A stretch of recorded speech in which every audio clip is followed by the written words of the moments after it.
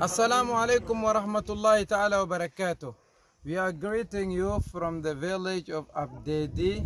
It is only through uh, the mercy and grace of Allah that we are here today to open well of borehole, which was generously sponsored by our donors in South Africa.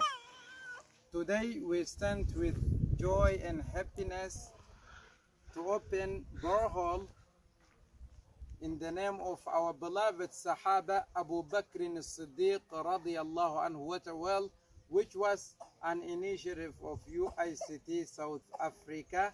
On behalf of this community in Chad we would like to thank you. May Allah reward you the best in this world and the hereafter and grant you barakah and blessings. Amin. Alhamdulillah Rabbil Alameen والصلاة والسلام على سيدنا محمد وعلى آله وصحبه أجمعين. واعف عنا واغفر لنا وارحمنا أنت مولانا وأنت أرحم الراحمين. اللهم تقبل هذه الخيرات. اللهم تقبل هذه الخيرات. وسلام على المرسلين والحمد لله رب العالمين.